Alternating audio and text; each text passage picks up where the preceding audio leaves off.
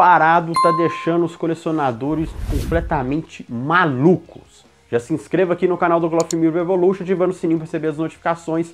Sempre temos vídeos novos praticamente todos os dias, beleza? Esse vídeo é indicação do Arthur.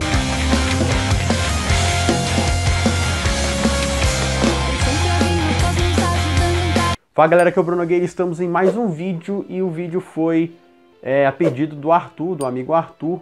Ele falou assim, Bruno, fala sobre os envios do Japão que estão travados, se há uma outra é, possível, se há uma outra forma de envio e, o que, que, a gente tem que fazer, cara. A gente está é, completamente maluco. Aqui eu parei! Bom, primeiramente lembra do vídeo que eu falei sobre o mer como estaria o mercado, como está o mercado de colecionáveis atualmente, que eu fiz um, uma, uma fiz uma pequena análise como estava no início e depois agora nesse segundo semestre. Não. Se você não viu, tá aqui no card, tá?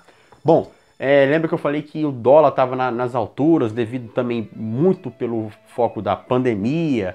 Muitos lugares, muitos países não estavam exportando ou até mesmo recebendo determinadas, determinados envios de outros países. Além disso, não falei também que o dólar estava alto também pela questão até das eleições americanas. O que aconteceu? Teve as eleições, o dólar caiu. O dólar praticamente deu uma despencada, né?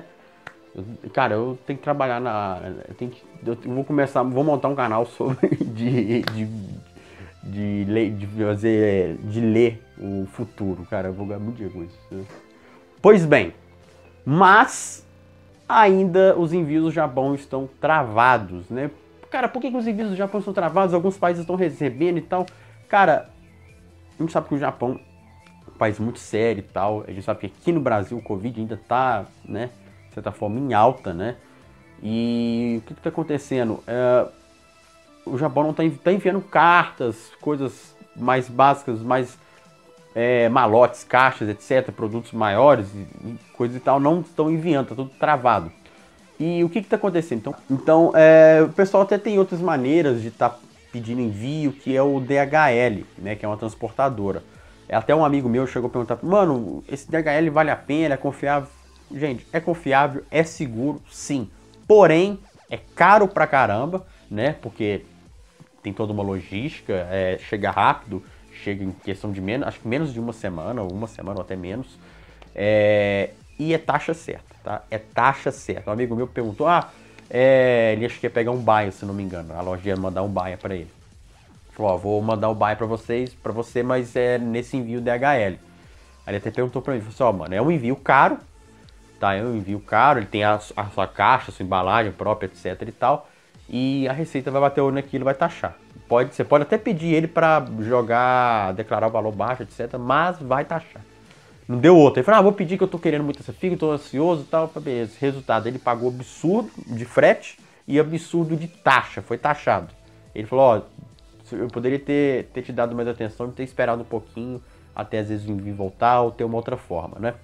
Pois bem, muita gente tá pegando, no início muita gente tá pegando via DHL, mas agora parece que deu uma diminuída, porque é, é um envio caro, é seguro, muito seguro, chega rápido e tal. Para a galera que tá ansiosa é uma boa, mas o problema é que você junta o frete mais o, o a, a, taxa que vai vir aqui é certeira, mano, você praticamente você compra um clote novo lançamento, tá? Não chega num, num Hades, não. Né? Mas você praticamente compra um clote novo aí, um Ioros da vida por aí nessa faixa. Né? É, é caro, o envio é caro e o frete é caro. E a taxa é cara também, taxa na, na hora.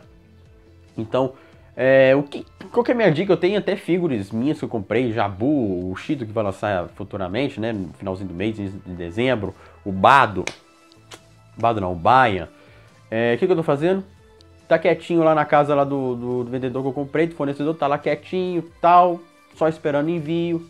Sempre me fala, ó, tô esperando envio, tal, ainda não foi, sempre me atualiza, ó, tem um frete, tem, a galera também tá pegando via, via navio, né? que também é uma opção, é uma opção. É, eu não, não sei muito bem se está sendo taxado ou não. Alguns falam que está, outros falam que não está.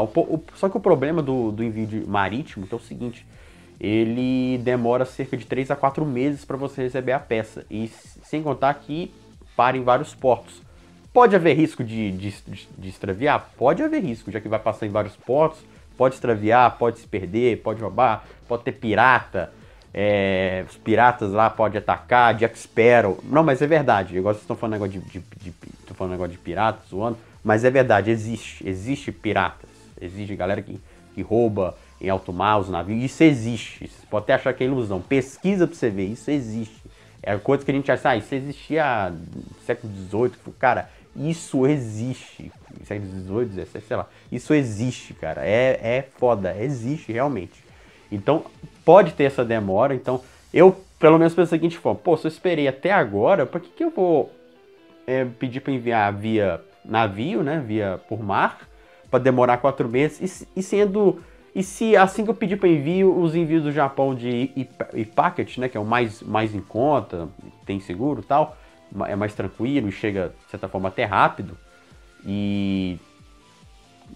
Não vou falar zero taxa, mas a chance de taxa é menor sendo que eu, dentro desses quatro, se eu esperei até agora, eu posso esperar mais um pouquinho para liberar. E tudo está indicando que parece que em janeiro de 2021 parece que o Japão vai liberar. Tá tudo indicando isso para ser liberado, né? Tem, um, tem uma, uma regra que eles colocaram agora de etiqueta que tem que ser tem que ser para você enviar, você tem que assinar a etiqueta, tem que escrever lá, acho que é a mão e tal e botar a etiqueta. Lá não é o, o os próprios correios japoneses que vão preencher isso, não, é o, né? é você mesmo que tem que preencher, é alguma coisa do tipo. Vai estar aparecendo um folderzinho aí sobre essa notícia que apareceu, mas uh, tá tudo indicando que vai se normalizar em janeiro, né? Tava sempre jogando para frente, o Japão sempre esperando, mas tudo tá indicando que vai normalizar em janeiro. Eu espero que sim, né?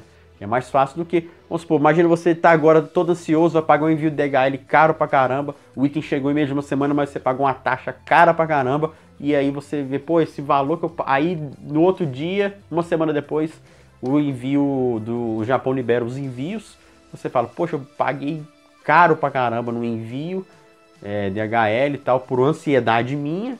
Foi taxado, paguei mais uma, uma, mais uma porcentagem, paguei caro pra caramba para receber um item, sendo que os envios foram normalizados uma semana depois. Poderia ter esperado, o mesmo que não tenha normalizado, poderia ter esperado um pouquinho mais. Essa é uma grana que eu poderia comprar um clote, dar entrada no clote, um carro, uma casa, o que for, comprar uma, tele, uma televisão, um PS5, o que for. Então a minha sugestão é o seguinte, tá ansioso? Pega a sua bicicletinha, dá uma volta e espera, porque, cara, você esperou até hoje, dá pra você esperar mais um pouco. Você, você comprou loja lá fora, de alguém de lá fora, o cara falou, ó, oh, tá aqui o item, mandou foto direitinho. Fica tranquilo, relaxado porque a gente tem que entender que a gente está vivendo um momento caótico no mundo todo, não é no, no, Brasil, é no mundo todo. Então, o que a gente tem que fazer é esperar e torcer para que dê certo. E sim, é, o DHL é uma forma de envio, né? Mas é aquele negócio, é um envio caro e questão de taxa. E no início estava todo mundo correndo atrás de DHL, DHL, agora a galera parou, porque é caro. É muito caro. Então, não, eu, eu tipo assim, se você está totalmente ansioso, tá até para morrer, para causa de um boneco, aí você pega o pago DHL e tal e pronto. Né? Mas você, não, eu tô ansioso, mas dá para me esperar um time, né? Uma grana que às vezes eu posso gastar numa outra coisa, não precisa ser em coleção, mas eu posso gastar em outra coisa, eu espero. Aí é o melhor que você fazer, porque eu tô fazendo isso. Tô ansioso, tô, mas eu espero, né? Aguardar aí.